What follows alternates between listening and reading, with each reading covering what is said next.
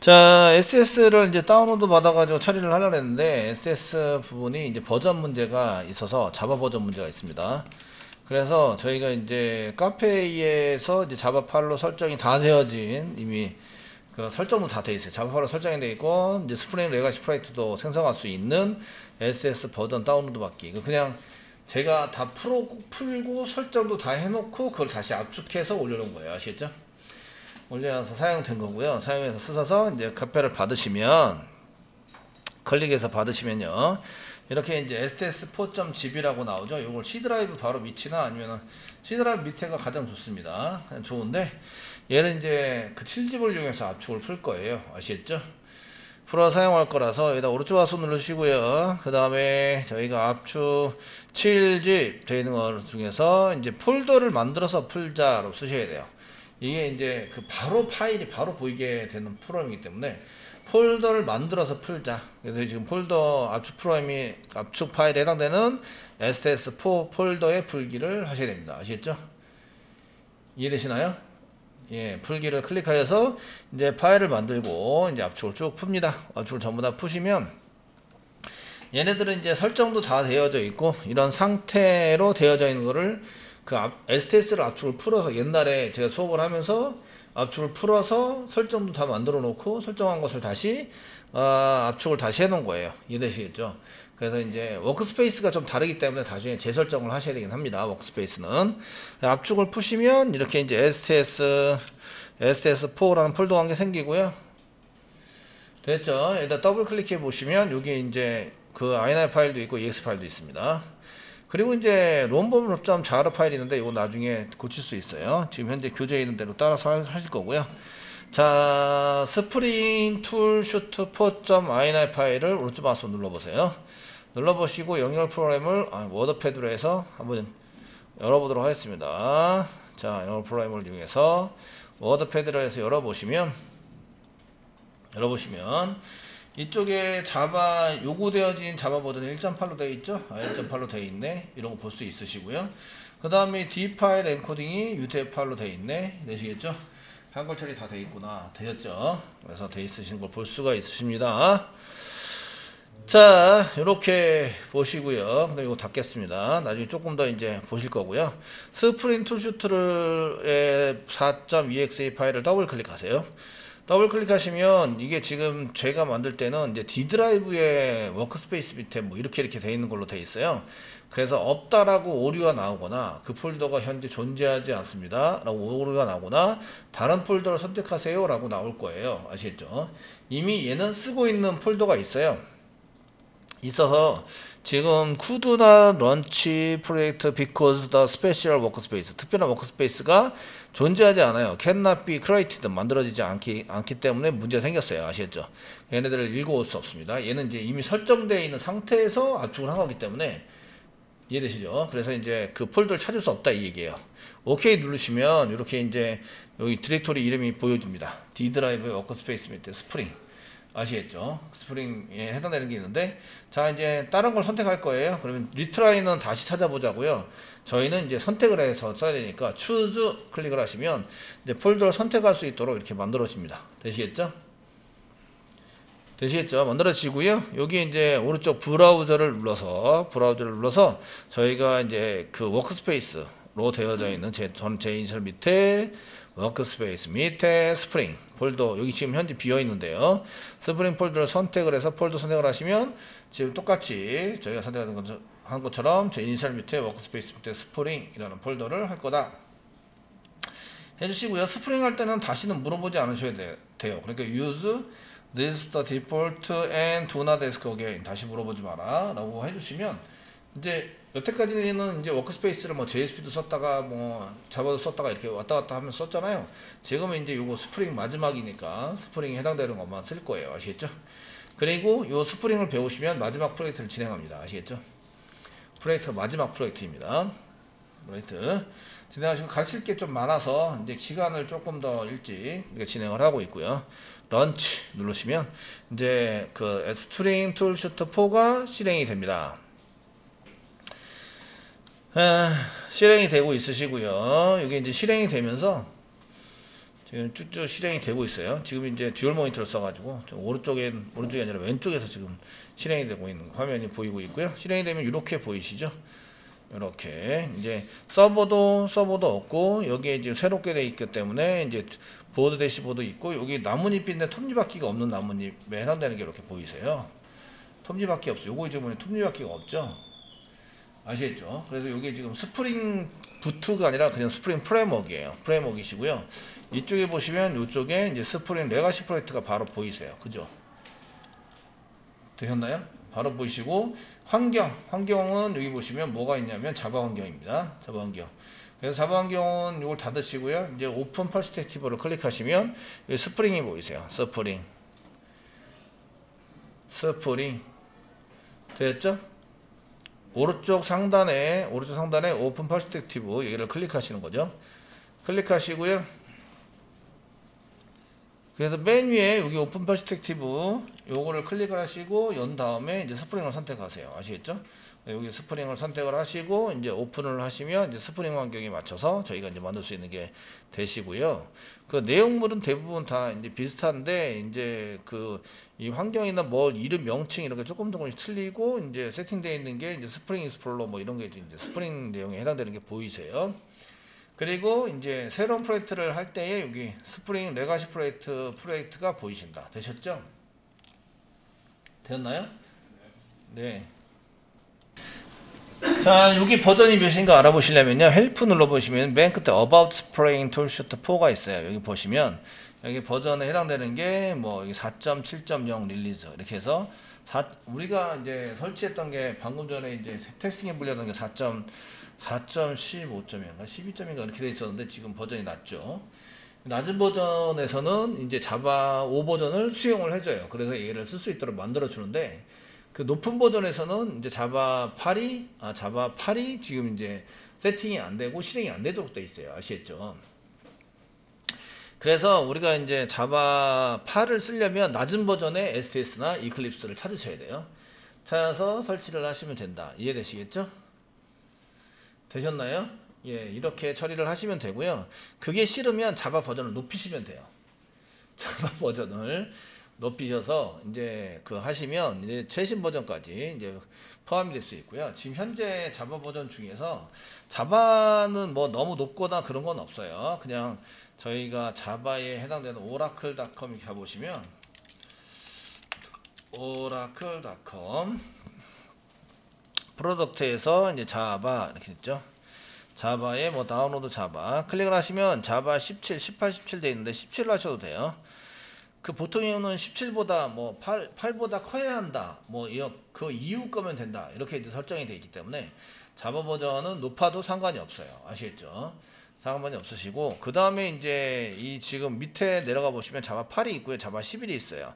교재 지금 여러분들 교재는 자바 11로 세팅하는 걸로 되어져 있습니다. 아시겠죠?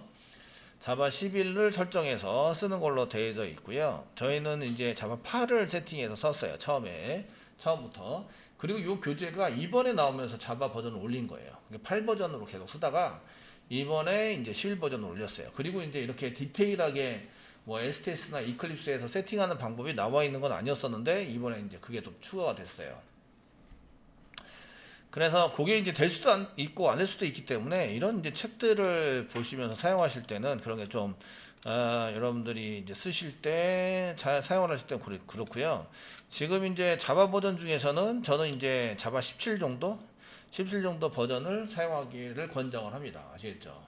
왜냐하면 다른 이제 STS나 그 이클립스가 자바 17이 현재 기본으로 되어 있어요. 그러니까 11, 15가 아니라 17 정도의 어, 기본 자바를 사용하시는 걸로 되어 있기 때문에 지금 이제 그 제가 이제 쓰려고 한다면 자바 17 현재 우리나라에서는 대부분 이런 전자정보 프로그램은 17 정도는 쓰지 않습니다. 한11 정도 써요. 자바 11 정도에 해당되는 이제 그걸 쓰는데 이클립스나 STS 보시면 이제 자바 버전을 높은 버전의 것을 요구를 해, 해야 되는 하는 경우에 업버전 시키면서 계속 자바의 높은 버전 걸 자꾸 요구를 하다 보니까 이제 여러분들이 어, 자바를 맨 처음 배우시거나 하실 때는 높은 버전을 좀 쓰시는 게 좋아 보입니다. 아시겠죠? 이해되시겠죠? 그 Java는 이제 요거 지금 Java에 설정되어 있는 것은 이제 버전별로 깔면 두 개, 세 개 깔 수 있어요. 대신에 여기 set Java underbar home 이렇게 썼을 때 그 Java underbar home에 설정되어 있는 위치에 따라서 그게 이제 동작을 하는 거예요. 이해되시겠죠? 그 설정에 해당되는 거에 따라서 동작을 하기 때문에 지금 얘는 이제 Java 1.8이 지금 이제 Java underbar home으로 되어 있습니다. 근데 자바 11을 깔면 폴더가 뭐 JDK 뭐 11점 어쩌고저쩌고 이렇게 들어가게 되거든요. 들어가니까 그거를 자바 언더바 홈으로 세팅을 해서 설정을 한 다음에 동작을 시켜주시면 돼요. 이클립스나 아니면 자바 부분에 해당되는 것도 다 마찬가지입니다. 아시겠죠? 그러니까 버전을 좀 맞춰라 이런 얘기고요. 그래서 이제 최신 버전의 STS는 버전이 좀 높지만 저희는 이제 이렇게 help해 보시면 4.7.0 버전에 해당되는 이클립스 STS를 사용하고 있다 이런 얘기고요. 그 요게 이제 그 스프링의 STS 중에서 이제 저희가 필요한 부분이 여기 세팅되어 있는데 STS 3.9.17을 이제 세팅해서 쓰고 있는 이런 프로그램이 됩니다 라는 거죠. 이것도 툴이에요. 그러니까 그 S 그 스프링 프레임워크에 해당되는 라이브러리가 아니고 그냥 툴이에요. 개발하기 위해서 그런 프로젝트를 만들어내고 할 때 사용하는 프로그램이란 얘기죠. 아시겠죠? 이해되시겠죠? 얘가 스프링 라이브러리가 아니에요. 아시겠죠? 얘는 그냥 이클립스 버전 뭐 이런 거랑 똑같은 거예요. 이클립스가 그 소스를 개발하기 위한 코드 버전에 해당이 되잖아요. 소스를 개발하기 위한 프로그램 툴에 해당이 되잖아요. 아시겠죠? 그거 동일하다라고 보시면 되세요. 그래서 tooling 업데이트로 되어 있죠. tooling 업데이트 사용하는 게 지금 3.9.17에 해당되는 것으로 맞춰서 쓰고 있습니다. 라는 거죠. 아, 이런 관계 확인을 해봤고요. 그래서 이제 저희가 그 뭔가 한 개 만들어서 이제 쓰시려고 하는데 거기에 만들어 서 쓰시는 게 여기 보시면 Spring Legacy Project라고 있습니다. Spring Legacy Project 가장 legacy가 뭔지 또 이제 저희가 네이버의 힘을 빌어서 자 네이버 도와줘 하면 이제 잘 도와주죠. 예, legacy 이렇게 해서 legacy가 뭐냐 이거 보시면 그 여기 영어 사전 보면 유산 과거의 옛날에 썼던 이런 프로젝트입니다. 아시겠죠? 가장 기본적으로 쓰는 이해되시죠? 네, 그런 프로젝트를 만들어내는 것을 얘기를 하고요. 그 레가시 프로젝트를 클릭을 하시면 이제 여기서는 이제 실제적으로 레가시 프로젝트를 만들 수 있도록 도와줍니다. 되셨나요? 도와주고요. 요거 그 다음부터 하는 거는 책에서 이제 하라는 대로 그대로 따라 하시기를 하시면 되세요. 아시겠죠? 지금은 이제 잘 모르니까 그냥 테스트 쓰겠습니다. 테스트 쓰시고요. 그 다음에 스프링 MVC 프로젝트 선택을 하도록 하겠습니다. 선택을 하시고요. 됐으면 next 눌러보겠습니다. 그러면 이거 다운로드 받아야 되는데 괜찮습니까? 라고 물어보는데요. yes 누르겠습니다. 다운로드 받으시면 그 다음부터 이제 사용하는 게 너 맨 처음에 패키지 만들 때 뭘 써야 된다고요? 이렇게 도메인 거꾸로 도메인 거꾸로 만들어야 합니다. 이렇게 되는 거죠. 되셨나요? 예, 도메인 거꾸로 만들어야 합니다. 자 여기다가 쓰시고요. 저희는 com점 뭐 com점 webjjang 지금 테스팅용으로 만들기 때문에 그 다음에 my app 이렇게 써서 만들도록 하겠습니다. my app 썼고요. 그 다음에 finish 누르세요. finish 누르면 얘가 이제 뭐가 이제 process bar가 막 진행하면서 지금 여기 process bar가 막 진행하면서 뭔가 뭘 하고 있냐면 다운로드를 막 하고 있는 거예요. 다운로드. 필요한 라이브러리를 다운로드 받고 있다. 그러면 테스트 프로젝트가 생겼고요. 이렇게. 지금 현재 X 표시로 빨간색 나고 있는데 아직까지 이제 다운로드가 덜 되고 있기 때문에 이제 빨간색 X 표시가 나고 있다. 아시겠죠? 기다려 보는 거죠. 그래서 기다려 보시면 build 오케이 하시면서 경고창으로 바뀌고요. 경고창으로 바뀌었습니다. 그리고 얘가 실행 가능한 프로젝트로 만들어져 있는 거예요. 아시겠죠? 자 이렇게 만드시면 이 프로젝트는 다 완성된 상태이고요. 서버 만들게요. servers 가셔가지고. 돌릴 서버는 아파치 톰캣 서버이고요. 9.xx 서버이고요. 그 다음에 localhost로 하고요. 그 다음에 톰캣 넷 localhost localhost 이런 거 쓰시고요. 그 이거랑 똑같이 프로젝트를 여러 개 만들어서 서버도 여러 개 만들 거다? 그럼 테스트로 써주는 게 좋겠죠 add test 만들어 주시고요. next 눌러 주시고요. 톰캣 구고요. 톰캣 디렉토리를 선택해야 되는 거 이거 이클립스의 설정과 동일합니다. 아시겠죠? 자 오른쪽 브라우저 누르셔서요? 저희는 C 드라이브 밑에 C 드라이브 밑에 톰캣 9라고 해주세요. 그래서 톰캣 9라고 폴더를 만들었습니다. 톰캣 9 선택을 하시고 폴더 선택하시면 선택이 되고요. 그 다음에 workbench dir 디렉토리 JRE 저희는 JRE가 1.8.0.3이 이게 맞는지 안 맞는지 모르겠어요. 그래서 installed JREs 클릭해 보시면요.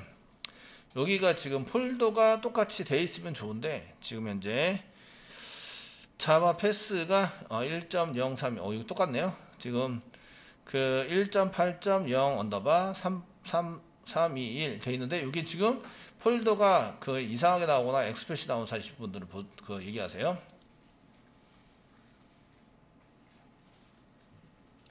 자 이게 만약에 틀려 있으면 이제 저희가 자바 설치되어 있는 걸 선택을 하셔야 돼요. 아시겠죠?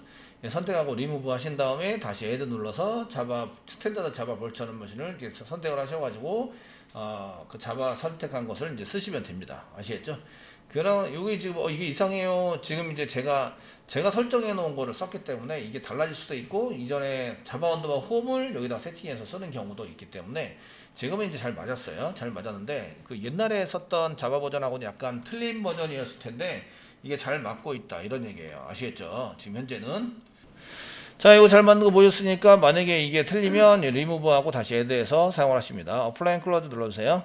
눌러주시고 JDK 디폴트 JRE가 사실은 JDK 이거 한 개밖에 없기 때문에 이게 기본입니다. 이걸 바꾸셔도 되고 디폴트로 그냥 세팅해 놓으셔도 됩니다. 아시겠죠? 넣으셔도 되고 next 누르세요. next 누르시면 이제 어떤 프로젝트를 돌릴까요? 테스트 돌릴 겁니다. 되시고 finish 눌러주세요. 요거는 이제 J, JSP 하실 때 이거 해보셨죠? 해보셨죠? JSP 하실 때 이렇게 해보셔서 이제 JSP 서버를 만들어 놨고요. 되셨죠? 그리고 테스트에서 오른쪽 마우스 누르세요. 아 이게 지금 그 저희가 윈도우에서 내비게이션 웹브라우저 잡겠습니다. 웹브라우저 웹브라우저는 크롬에서 실행해라. 윈도우의 웹브라우저의 크롬 크롬에서 실행해 주세요. 라고 하시고 테스트에서 오른쪽 마우스 누르세요. 그리고 run as 쓰시고요. run as on server 톰캣 서버 같이 되어 있는 거 보이시죠? run as run as on server 서버를 돌리는데 프로젝트를 돌리는 거예요. 클릭하시면 그 톰캣 프로젝트 설정한 거 만든 거 맞고요. 이제 finish 누르셔도 되고 next 눌러서 사용하셔야 됩니다. 그냥 finish 누를게요. finish 누르면 얘가 이제 서버가 돌고요. 뭐가 실행이 된다? 브라우저 실행이 된다. 이 빨간색으로 막 되어 있는 게 로그입니다. 찍히는 거. 로그 찍혀 보이시고요. 여기 자 스프링 버전이나 이런 거 쓰시고 이렇게 나오시면서 결국 hello world 하면서 이렇게 찍히는 거 보이세요. 오늘 날짜입니다. 오늘 날짜 10분 초가 찍힌다. 한글은 다 깨진다. 아시겠죠? 되셨나요? 어, 프로젝트가 생겼네. 이런 얘기예요. 생겼습니다. 프로젝트가 생겼어요. 되셨죠? 생겨서 잘 실행될 수 있습니다. 라는 것을 우리가 알 수가 있으십니다.